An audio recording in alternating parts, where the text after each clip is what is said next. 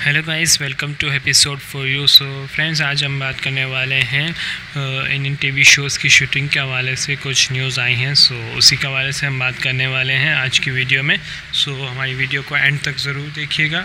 और वीडियो को स्टार्ट करने पे से पहले आपसे रिक्वेस्ट है कि चैनल को सब्सक्राइब ज़रूर कर लें और हमारी वीडियो को लाइक और शेयर ज़रूर कीजिएगा। सो फ्रेंड्स कुछ न्यूज़ इस तरह से है कि जितने भी टीवी शोज़ हैं, वो सारे ही इफ़ेक्ट हो रहे हैं। कोविड नाइन्टीन की जो थर्ड वेव आई है तब से। सो so हमने प्रीवियसली भी आपके साथ न्यूज़ शेयर की थी कि काफ़ी ज़्यादा टीवी शोज़ की शूटिंग अफेक्ट हो रही है। इसकी वजह से किसी भी चैनल की बात कर लीजिए स्टार प्लस की सोनी टीवी कलर्स या सब टी की तो तमाम चैनल्स की जो शूटिंग है, वो इससे अफेक्ट हो रही है। क्योंकि जो कास्ट एंड क्रू है, वो कोविड नाइन्टीन की वजह से अफेक्ट हो रही हैं।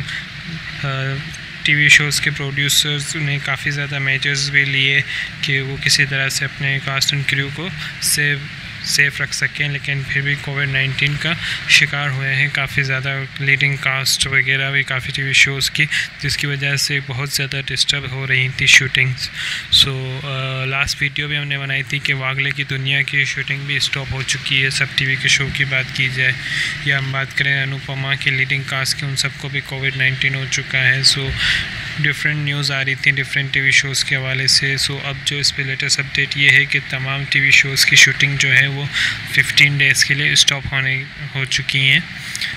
क्योंकि मुंबई में जो इन सब की टीवी मुंबई फ़िल्म सिटी में ज़्यादातर शूटिंग्स की जा रही होती है तमाम टीवी शोज़ की।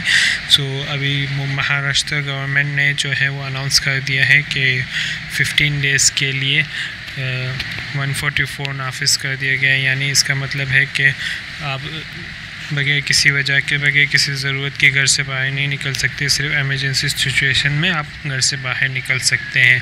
सो so, इसी के कारण जो है वो शूटिंग्स वगैरह भी नहीं हो पाएँगी।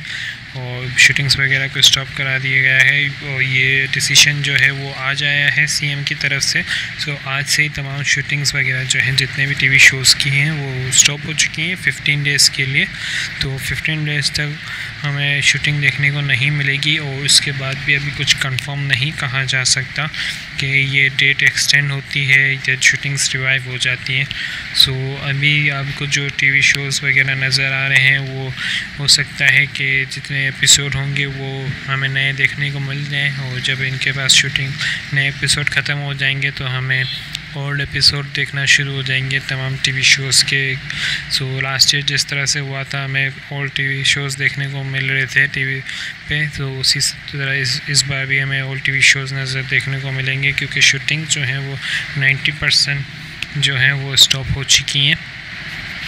और जो तमाम प्रोड्यूसर के जो टीवी प्रोड्यूसर्स के जो हेड हैं जेरी मजीदिया उन्होंने भी इसको सेकंड किया है सीएम के डिसीशन को।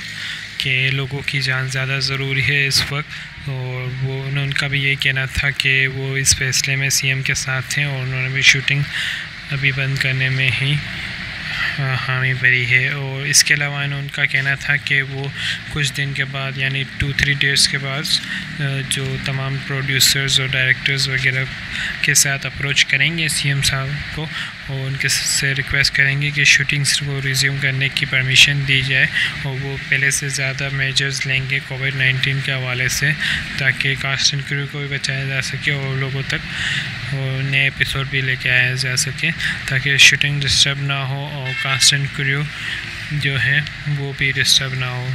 सो so, अभी तक के लिए न्यूज़ यही है कि शूटिंग्स जो हैं वो 90 परसेंट टीवी शोज़ की स्टॉप हो गई हैं जिसमें किसी भी चैनल की हम बात करें हैं Star Plus Sony T V Colors T V हो स्टार भारत हो सब टी वी हो सो उन सब की जो है वो शूटिंग अभी रुकी हुई है। सो देखना होगा कि कब इसकी शूटिंग्स रिज्यूम होती हैं। सो इससे रिलेटेड हमारे पास कोई भी न्यूज़ लेटेस्ट आती है तो हमारे आपसे ज़रूर शेयर करेंगे। So keep watching and stay happy episode for you